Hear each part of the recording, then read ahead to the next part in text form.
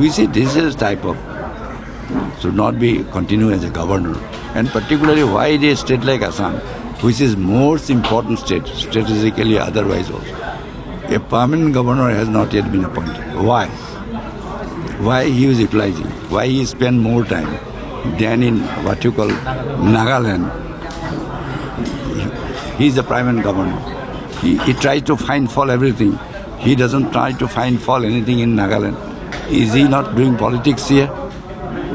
As if Assam, we are doing something wrong here, uh, whether NRC, whether roads, whether anything.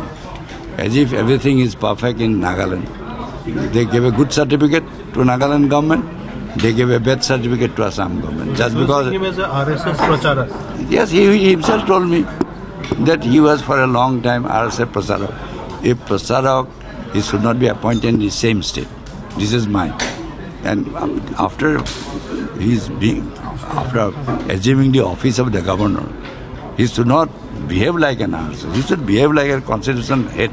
That is my. So you want him to go? Definitely, I don't want he.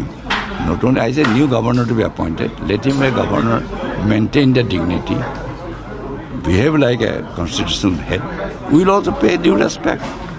Present governor also I do pay respect to him because of his office.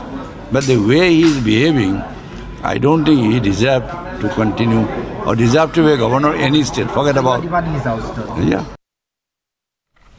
Well, let's also play out that extremely, extremely controversial and divisive comment that was made by the Assam governor. For everything, if you pass on the buck as a politician, it has no meaning. Where is politics in that?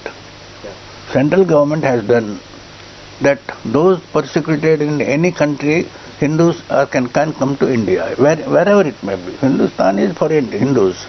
They cannot be uh, outsiders here. They are refugees and they are given a citizenship. Nothing wrong in that. Whether they should be made voters in Assam or any other place, how to accommodate them, that is a big question. Let the central government and people can decide.